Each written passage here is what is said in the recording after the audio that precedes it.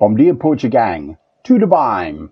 This is Portugal's Top 10 by Portuguese ChatGPT. Let's check it out. Good, good, good, good. Wicked. It's Portuguese good.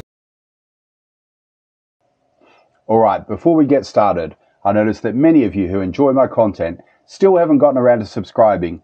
It costs you nothing to subscribe, but it really, really helps me out. So go ahead and smash that subscribe button. Go on, smash it. And if you don't, That's ignorant. Alright, so let me introduce you to my very good friend. This is Portuguese ChatGPT. ChatGPT 4, in fact. And you can tell that he's Portuguese because he's got this very special mustache. You don't see that every day, do you? In fact, you've never seen it before. Now you've seen it. Let's get into it. That sounds like a fun and creative introduction. If you're looking to add any specific details or need feedback, feel free to let me know when you're ready. Well, Portuguese ChatGPT, I understand that you're quite an expert at, uh, at all things Portugal and Portuguese. Is that correct? Absolutely. I can help with anything related to Portugal, whether it's history, culture, language, or even the best spots to visit. What would you like to dive into first? Well, first of all, I'd like to know what is the best city to live in in Portugal and why? Why should I live there? A great question. Many people say Lisbon is the best city to live in Portugal because it's the country's vibrant capital with a blend of history, culture, and modern life. It's ideal for job opportunities, especially in tech and startups, and offers a lively lifestyle with plenty of restaurants, cafes, and nightlife. Plus, you're near beautiful beaches and have good transportation connections. However, some prefer Porto, especially if you enjoy a slightly slower pace. Porto is more affordable, has a rich cultural heritage, and a growing expat community. The city is known for its wine, picturesque streets, and stunning views along the Douro River. If you're into nature and peace, you might also love Faro in the Algarve. It's smaller and more laid back, with amazing weather and beaches nearby, ideal for someone who loves the outdoors. What would matter most to you in choosing a place to live? Okay, um, what about the best place to go for a, say, a three day uh, vacation? And why? For a three day vacation in Portugal, I'd recommend heading to Sintra. It's just a short trip from Lisbon and feels like stepping into a fairy tale. With its stunning palaces like the colorful Pena Palace and the mysterious Quinta da Regaleira, along with beautiful gardens and forests, it's perfect for a magical getaway. You could also consider Porto for a mix of culture, history, and food. Explore the historic Ribeira district, enjoy a river cruise along the Douro, and, of course, visit a wine cellar to taste the famous port wine. Another fantastic option is the Algarve, especially if you want to relax on some of Europe's most beautiful beaches. Towns like Lagos and Albufeira offer stunning coastal scenery, caves, and cliff walks. What type of vacation are you leaning towards? History, culture, or relaxation? Okay, so um, what about uh, these famous river beaches, the uh, Praia Fluvial I've heard so much about? What's the best river beach in Portugal and why is it the best? Ah, Praias Fluviais are a real hidden gem in Portugal. One of the most famous and arguably the best river beach is Praia Fluvial de Loriga, located in the Serra da Estrela Mountains. It's known for its crystal clear, cold waters that flow directly from the mountains. The natural beauty here is stunning, with rock formations surrounding the pools, and it's a peaceful spot, perfect for swimming and cooling off in the summer. Plus, you're close to some great hiking trails in the national park. Another popular one is Praia Fluvial do Piodão, also nestled in a picturesque mountain village. The setting here feels almost like stepping back in time with its traditional stone houses, and the water is incredibly refreshing. It's perfect for a mix of nature and culture. Praia Fluvial de Alqueva, located near the Alqueva Dam in Alentejo, is great if you're after something a bit more relaxed. It has a very calm lake like atmosphere and is excellent for water sports like kayaking and paddleboarding. Each of these river beaches has its own unique charm, depending on whether you're after dramatic mountain scenery or more tranquil waters. Does one of these sound like what you're looking for? Yes, uh, I've also heard that uh, Portugal is a foodie's paradise. What are some dishes that I simply must try when I'm in Portugal? And tell me about the dishes and um, maybe suggest two or three and what's good about them, please. You're absolutely right. Portugal is a food lover's dream. Here are three must try dishes that showcase the country's flavors and traditions. 1. Bacalhau à Brás. This dish is a classic made from shredded salted codfish bacalhau, mixed with onions, thinly sliced fried potatoes, and scrambled eggs, all topped with parsley and black olives. Portugal is famous for its bacalhau, and there are supposedly over a thousand ways to prepare it. But bacalhau à Brás is one of the tastiest and most comforting versions. It's salty, rich, and perfectly balanced with crispy and creamy textures. Pastéis de nata, these iconic custard tarts are an absolute must try. Originating from the famous Pastéis de Belém in Lisbon, these pastries have a crispy, flaky shell filled with creamy, sweet custard. They're best enjoyed fresh out of the oven with a sprinkle of cinnamon or powdered sugar.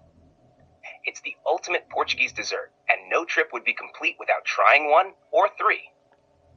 Cozido à Portuguesa. For something heartier, try Cozido à Portuguesa. It's a traditional Portuguese stew made with a mix of meats, usually pork, beef, and chicken, and a variety of vegetables like potatoes, carrots, and cabbage.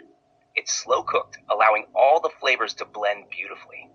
The dish is often served family style and is a great representation of Portugal's rustic and comforting food traditions. These dishes give you a good range of what Portuguese cuisine is all about seafood, sweets, and hearty stews. Is there one you're especially excited to try? Um, yeah, sure. You've made me feel very hungry, actually. Um, but I'm a, uh, a, vegan. Can you think of uh, any Portuguese dishes that would be suitable for a vegan?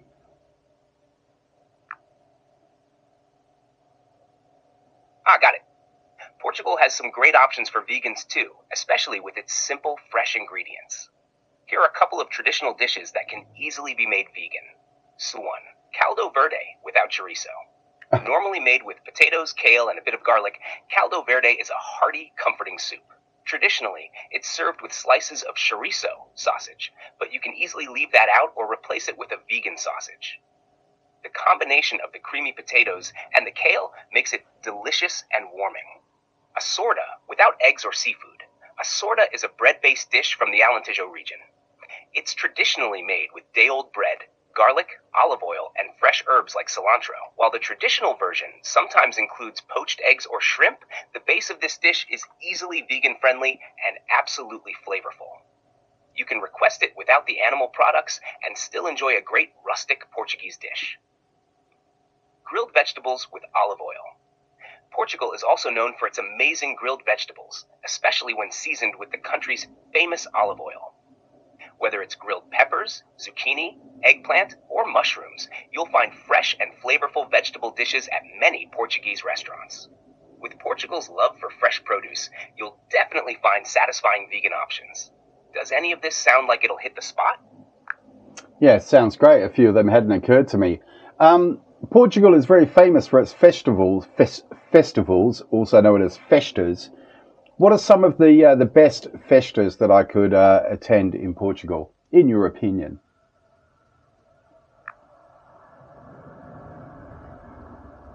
Portugal's festas are legendary, with a deep connection to culture, religion, and tradition. Here are three of the most vibrant and memorable ones you could attend. 1. Festa de São João, Porto. This festival in Porto is one of the country's biggest and most fun events, taking place on the night of June 23rd. It's a wild street party where people celebrate by hitting each other on the head with plastic hammers, lighting fireworks, and releasing sky lanterns. Grilled sardines are traditionally eaten, but there are vegan options too, and the streets are filled with music, dancing, and joyful chaos. The highlight is the massive fireworks display over the Douro River at midnight. Festas de Lisboa, Lisbon. In June, Lisbon comes alive for the month long Festas de Lisboa, which celebrates the city's patron saint, Santo Antonio. You'll find street parades, music, and colorful decorations all over the city, particularly in Alfama and other old neighborhoods. People enjoy street food and drink, and the atmosphere is incredibly lively. While grilled sardines are a tradition here too, There are plenty of options to explore. The citywide celebration includes fado performances, popular marches, and even weddings. Festa de Senhora da Agonia, Viana do Castelo. Held in August in the northern town of Viana do Castelo, this festa celebrates Our Lady of Sorrows and is known for its beautiful traditional Ascostan folkloric parades. There's a strong focus on Portuguese crafts, culture, and history here. The streets fill with flowers, and there are boat processions on the Lima River. This festival has a more traditional, slightly less party driven vibe, but it's full of beauty, culture, and a deep sense of community. Each festa has its own unique charm, from the chaotic fun of São João to the cultural beauty of Senhora da Agonia. Do any of these sound like something you'd want to experience? They sure do. I'm also interested in historic sites. Um, can you tell me maybe one or two castles that I should uh, visit while I'm in Portugal and why?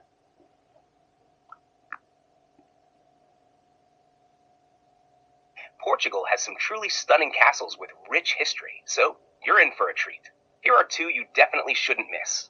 One, Castelo de São Jorge, Lisbon. Perched high on a hill overlooking Lisbon, this castle offers not only a fascinating history, but also breathtaking views of the city and the Tagus River. It dates back to the Moorish period, 11th century, and was a royal residence after the Christian reconquest. Today, you can explore its walls, towers, and gardens, making it a perfect spot to combine history and sightseeing. Plus, its location in Lisbon makes it very easy to visit. Castelo de Óbidos. The medieval town of Óbidos, with its beautiful castle, is like stepping back in time. This well preserved castle, dating to the 12th century, is surrounded by town walls you can walk along, offering stunning views of the surrounding countryside. The town itself is charming, with its cobbled streets and whitewashed houses. Every July, Óbidos also hosts a medieval festival where the whole town gets into character, adding an extra layer of historical immersion. Both castles offer a glimpse into Portugal's past and are set in scenic locations. Are you more into exploring big city sites like São Jorge or charming towns like Óbidos? Uh, I'm also interested in uh, sport, and I know um, Portugal has a rich football heritage. Um, where is the best place? Just give me one place, the best place I can go to see um, Portuguese football at its best, please. The best place to experience Portugal's rich football heritage has to be Estadio da Luz in Lisbon, home to SL Benfica, one of the most successful and popular football clubs in the country. The stadium itself is massive, with a capacity of over 65,000, and the atmosphere during matches is electric, especially when Benfica is playing against rivals like FC Porto or Sporting CP. Besides catching a match, the stadium also has a museum, Museu Benfica Cosme Damião, which is perfect for diving into the club's history and Portugal's broader football legacy. If you're a football fan, it's an unforgettable experience. Would this be your kind of stop? I think so. Uh, thank you. Um, I'm quite interested in trying out some surfing while I'm here as well. Now, listen, I've heard that Nazaré is a bit oversold. Um, so let's not include Nazaré. Um, what, in your opinion, is the best place to surf in Portugal? If you're looking to surf in Portugal and want to skip Nazaré, I'd recommend Ericeira. It's considered one of the best surf spots in Europe and is actually a World Surfing Reserve, the first in Europe. Ericeira has a range of waves suitable for all levels, from beginners to pros, and its coastline offers a variety of beaches to choose from, like Ribeira d'Ilhas and Foz do Lizandro.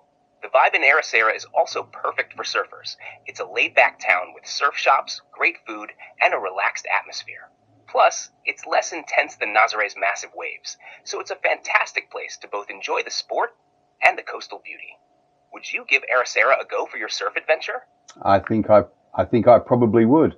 Um, I also understand that um, it's possible to ski in uh, Portugal. Um, where is the best place to go skiing in Portugal?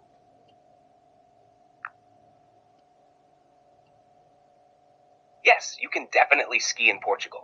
The best and really the only place to go skiing is Serra da Estrela, the highest mountain range in mainland Portugal. It offers a modest but enjoyable ski resort with several runs for different skill levels, from beginners to more advanced skiers. The season usually runs from December to March, depending on snow conditions.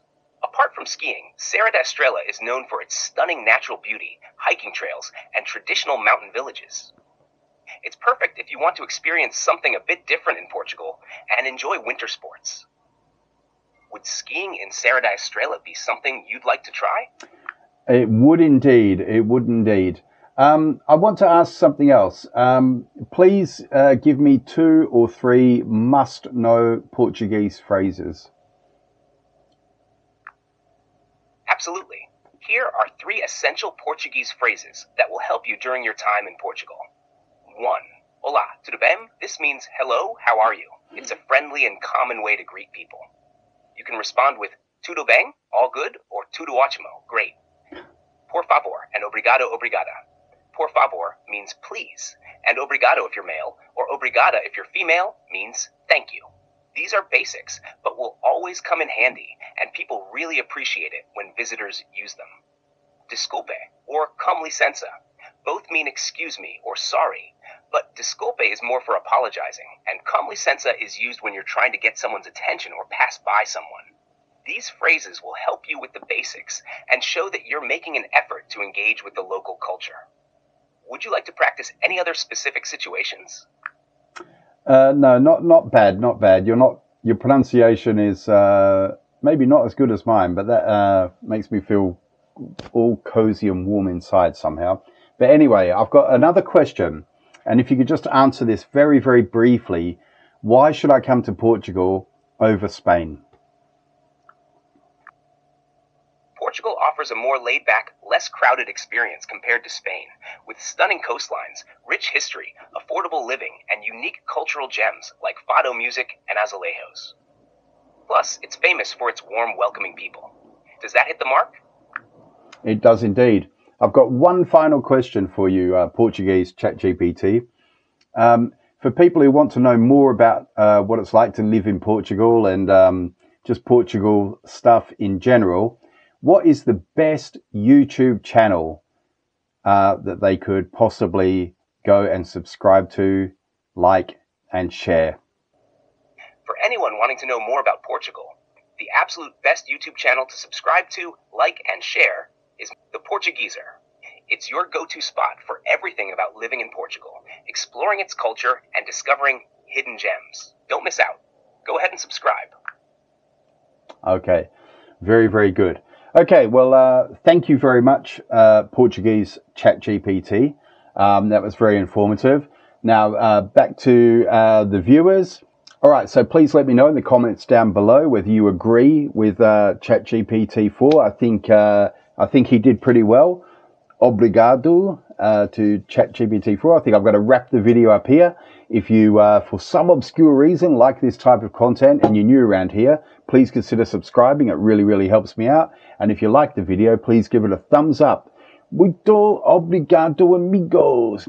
Ciao.